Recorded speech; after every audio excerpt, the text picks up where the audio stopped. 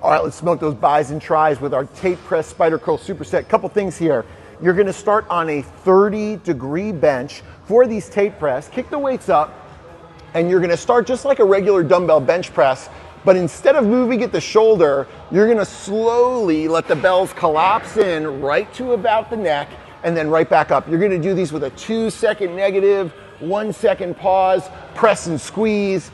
Try to move nice and smooth, feel that tricep stretch and then contract for a good hard and heavy 12. You can build up heavier and heavier each set, and each set, as soon as you're done with the Tate press, you're just gonna flip yourself around and you're gonna go to the spider curl. Now these may or may not be the same weights, which is totally fine, but for the uh, spider curl, here you're keeled over on the bench, you're gonna come up and try to turn your thumbs out as hard as you can. Two second negative down, one second pause, up, hold, and right back down.